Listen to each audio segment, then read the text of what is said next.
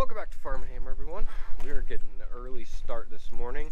My three dairy cross beef cows that did not get bred back, I'm gonna take them to the sale barn this morning. The sale starts in about two hours. I'm gonna get them some grain so I get them sorted from the other calves we have to sell. Then after I get them separated and in the corral, I'm gonna try to get them loaded up as quick as I can um, because I need to get them They're probably an hour before the sale, which gives me about 30 minutes to an hour. Don't have a whole lot of time, but I think we can get it done. First thing is getting some grain.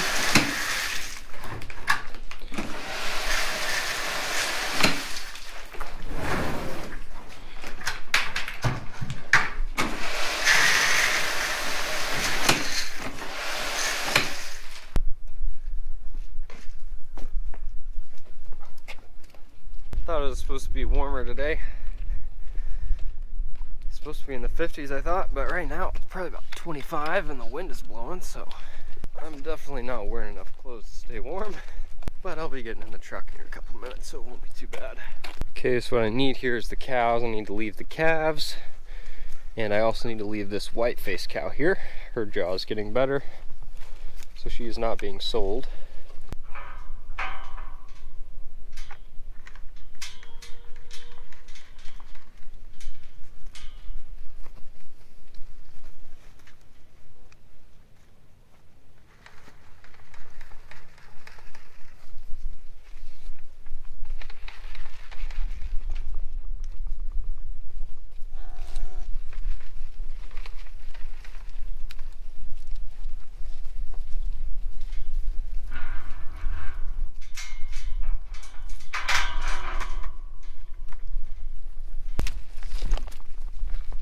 just about got majorly injured.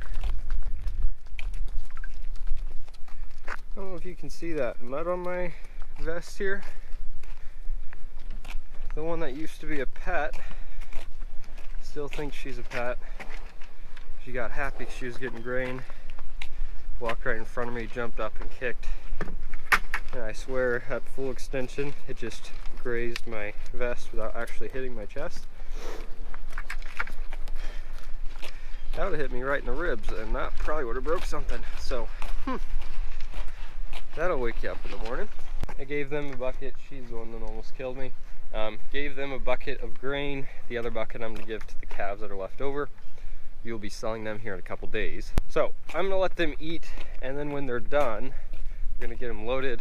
Um, while they're eating, I'm going to go dump this half a bale to our group of heifers the half bale's already on the truck and I need the truck to haul the trailer. So need to get the bale off there and then I'm gonna hook the trailer up and get these things loaded and gone.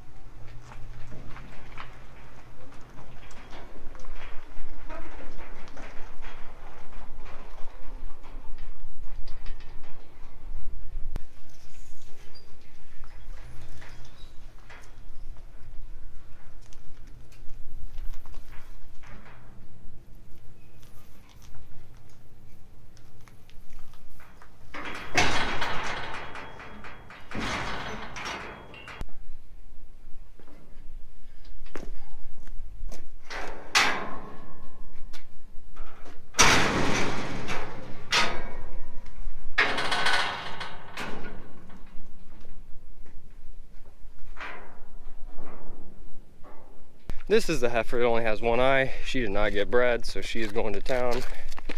Um, she shouldn't get docked too hard for a cull cow. That's my hopes.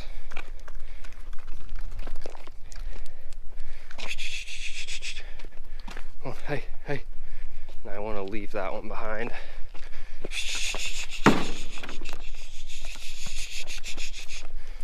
That worked out nicely.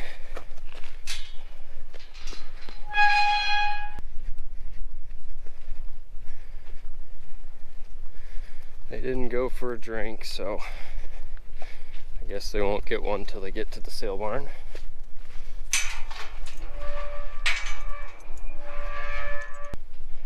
And small trailer, I just want two, preferably the two biggest in the front. And I gotta watch out for this one with one eye. She kicks frequently. Okay, those are not the two I want.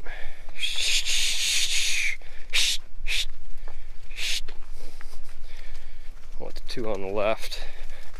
Hey, hey. Come on. Come on. Come on. Hey, hey. Hey, hey, hey, come on, hey. It's not that scary, come on.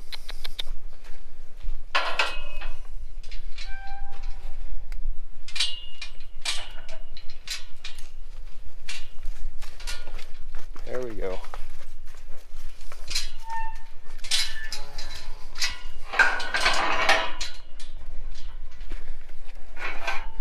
Hey, come on. Hey.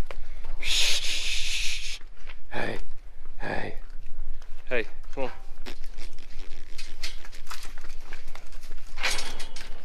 Hey. Come on. Hey. Hey. Hey. Come on. Hey. Hey.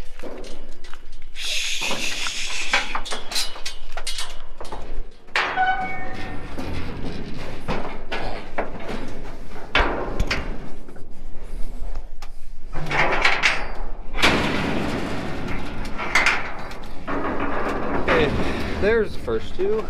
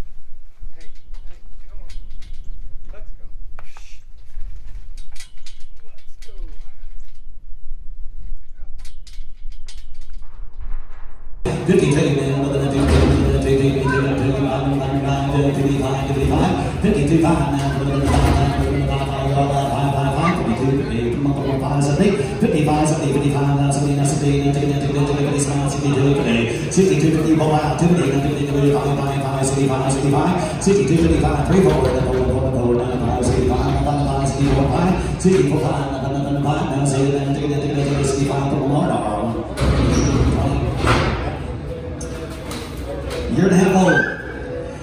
Here? One of you got. One five, five, one, five, seventy, hard to rock, one, five, seventy.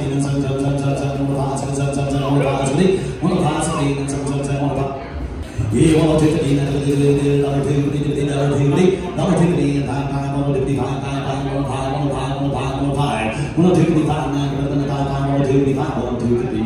Well, guys, you just saw them sell. Um, I thought they'd run through in an hour or two because there are quite a few head here already. Um, but I don't know if my field rep did a good job or what. But they got in and out within the first 30 minutes of the sale. So I was pretty impressed. I got here almost right when the sale started and they already got mine in. So pretty happy with that. Um, price wise, uh, let me think here. The first three, I think they averaged 900 some pounds and they brought 65 cents, I believe. So not anything crazy, but um, better than 40 or 50 cents. Even the one with the bad hip, she did pretty pretty well. Um, and then the last one, they singled her out. She was the heifer. They said she was a year and a half old, which is actually pretty accurate. Um, so they did a good job aging her. Um,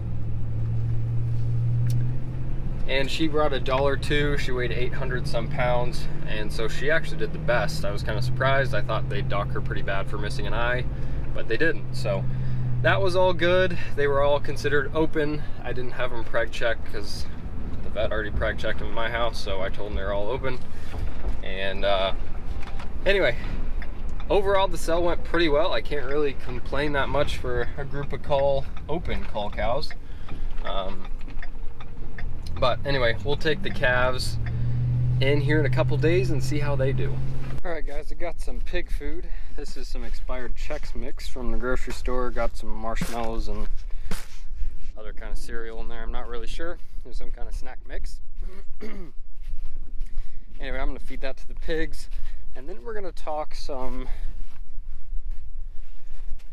we're going to talk some numbers on cull cows. Cull cows can be extremely profitable if you time it right, um, so we're going to get into all that. But before we do, we'll feed these pigs. Um, you can see their pen here. I let them out this morning into this pen. They've already pretty well destroyed it.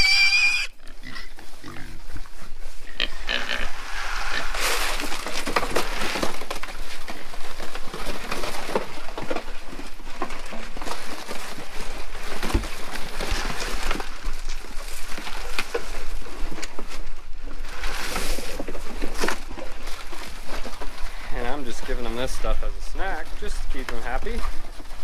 They still get about, I don't know, 30 pounds of feed morning and night. Um, and of course, a nice day like today when it's 63 degrees, they can spend all day rooting around outside.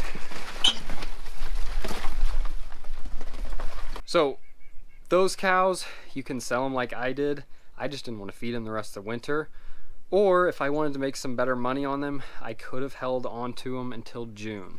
So June and July, it's a big market for um, your old fat cows. And if you would have been to the sale I just took mine to, there were some really fat cows that got fattened out on grass. These cows just didn't get bred for a season. They ate grass for almost a year and they get super fat just on grass. So they're ready to butcher when they walk through the ring. There's a lot of buyers that are willing to pay 65 cents. Um, and a lot of these cows, when they're that fat, they're going to weigh 1,600 pounds. So you can get a pretty nice check out of a cow that didn't rebreed if you have the grass to hold on to them for another four to six months and sell them in June or July for the hamburger market um, as July 4th. So I said July 4th, but really a lot of the summer people are grilling burgers. So the hamburger market goes up. That's when your fat cows will sell the best. Like I said, they will fatten out on grass if you've got it. I could have held on to those three cows uh, for another six months. Um, the problem is three of those six months would have been feeding them hay and that really cuts into your profit if you're selling one of those cows. So um, sure I could have held on to them but in the end after I fed them hay for three months I don't know that I would have come out any better. Um, probably would have profited the same amount. Even if you're on some smaller framed cattle, a really fat cow could weigh 13, 1400 pounds. So um, your bigger frame scores, you might get a 16, 17, 1800 pound cow which once again will still probably bring 65 cents a pound. So um, it all depends on the market in your area. My area, I've got multiple sale barns and one of the biggest ones in the nation close by. So fat cows really sell well. In the actual beef herd, we have three older cows and we are actually gonna hold on to them till June. They didn't calve this fall like they were supposed to. They either aborted early or something happened. They didn't have a calf. So they're old, they're not crippled, they're in good shape. They're 13, 14, 15 year old cows. We are going to feed them through the winter just because we haven't had time to get the whole group of cows back home and sorted and separate them out. So at this point, for us, for beef cows, it's going to be worth holding on to them until June. Um, that'll give them all spring to fatten up, really get big. Um, these old cows, like I said, on grass, as long as they aren't crippled, they're going to put on weight fast if they're not trying to grow or feed a calf. So um, we're gonna hold on to them for the June market. I will keep you guys updated whenever we sell them and I'll try to show you guys the difference in price. Anyway, that's where that's where a lot of people miss out on quite a bit of money um, selling cull cows. They just sell them right when they find out they're open. But if you're finding out they're open in the spring, it might be wise to hold on to them for a couple months. So guys, with that being said, thank you all for watching. I hope you enjoyed this one. And with that being said, I will see you all next time.